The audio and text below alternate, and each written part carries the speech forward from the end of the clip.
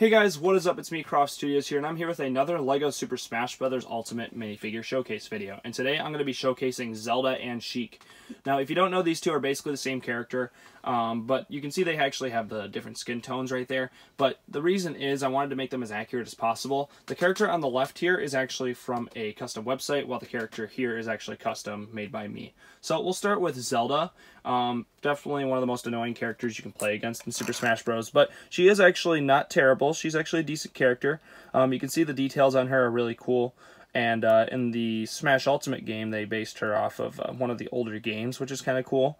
Um, but you can see her design right there looks really cool. This one kind of looks like the Brawl version, um, and you can see her face right there is very simple, but it definitely looks cool. The amount of detail on this minifigure is very cool in general and then uh, you can take off her hair right there. You can see she even has back dress printing and back printing.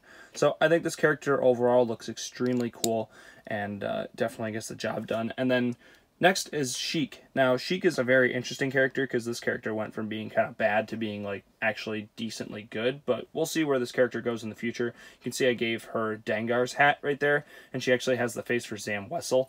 Um, you can see it kind of shows on the back a little bit right there, but you can't really see it too much. You can see she has her wrap going around. She has Asajj Ventress's uh, torso, and I'm pretty sure, I don't remember whose legs these are, but overall, I think it looks really good. Um, that's just my opinion. Tell me what you guys think in the comments below of these characters, um, but we're on our way to completing these characters eventually, um, and we're working really hard to make these characters from the game. So tell me what you think in the comments below, guys. I hope you enjoyed, and thanks for watching.